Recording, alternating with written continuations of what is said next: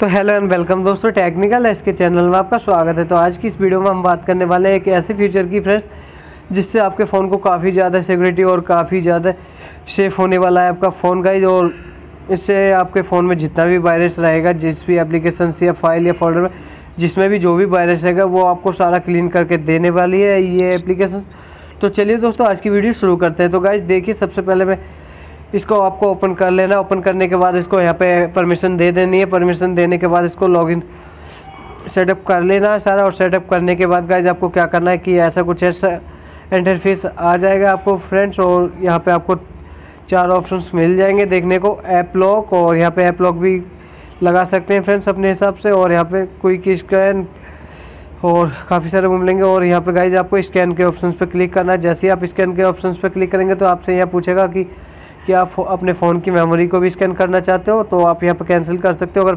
Phone की जो memory उसको भी स्कैन कर करना चाहते हो तो आप यहाँ पर ग्रेंट एक्सेस कर सकते हो। उसके बाद आपसे पूछने वाला कि क्या एच कार्ड को भी करना चाहते हो तो यहाँ पे एच कार्ड को भी ओके कर देना और फिर बैक चले जाना है। तो भाई, जैसे हम बैक करेंगे ये वहाँ से हमारी जो एच कार्ड थी, वो भी इसमें एक्टिव हो चुकी है। उसके बाद हम इसको यहाँ से एक्टिव हो चुकी है। उसके बाद हमें यहाँ पे ऊपर लिख रहा होगा, स्कैन नाउ तो स्कैन नाउ पे हमें क्लिक कर देना है। जैसे हम इस पर स्कैन नाउ पे क्लिक करने वाले का तो हमारी स्कैनिंग स्टार्ट हो जाएगी और आप देखेंगे कि यहाँ पे हमारी एक एक एप्लीकेशंस को, हर एक चीज़ को अच्छे से स्कैन करेगा और जिस भी ऐप्स या फ़ाइल या किसी भी चीज़ में प्रॉब्लम रहेगी, उसको हमें यहाँ पे ला दिखा देगा कि किसमें क्या फाउंड हो और क्या नहीं।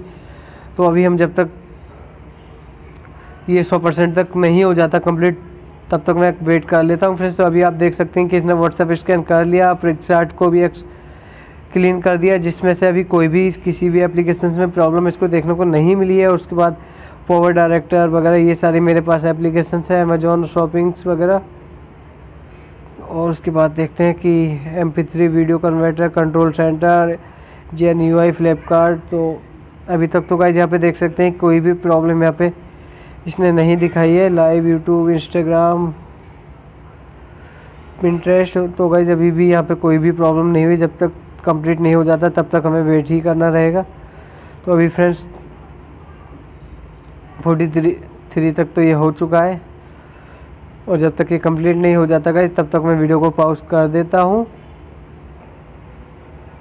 तो गाइज़ देखिए अभी 99 हो चुका है और अभी तक इसमें कोई भी प्रॉब्लम देखने को हमें नहीं मिली है। और ये आप देख सकते हैं कि डिवाइस स्ट्रक्चर और स्क्वायर और उसके बाद देख सकते हैं कि मुझे यहाँ पर कोई भी चीज़ ना ही मेरे फ़ोन में कोई वायरस था, ना ही मेरे फ़ोन में कोई प्रॉब्लम थी। अगर गाइज़ अगर आपके फ़ोन में कोई भी वायरस कहीं भी फ़ाइल में या कहीं एप्लीकेशंस में रहता है तो उस फ़ाइल को ये आपके सामने ला रख देगा गाइज़ और उसके साथ उसमें आपको ऑप्शन भी दे देगा कि आप इसको डिलीट करना चाहते हैं, हटाना चाहते हैं या फिर इग्नोर करना चाहते हैं। तो गाइज़ वो आपके ऊपर डिपेंड करता है कि आप उस, अगर वो एप्लीकेशन ज़्यादा ही इम्पोर्टेंट है आपके लिए और फिर भी आप उसे रखना चाहते हैं, अगर वो आपके फ़ोन के लिए भी प्रॉब्लम है तो भी रखना चाहते तो आप वो रख सकते हैं।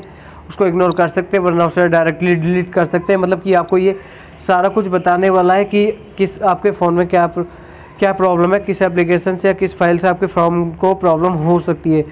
तो बस यही थी मेरी फ्रेंड्स वीडियो आशा करता हूँ आप लोगों को पसंद आई होगी। अगर पसंद आई हो तो प्लीज़ लाइक एंड सब्सक्राइब करना ना भूलें। तो चलिए दोस्तों, मिलते हैं नेक्स्ट वीडियो में।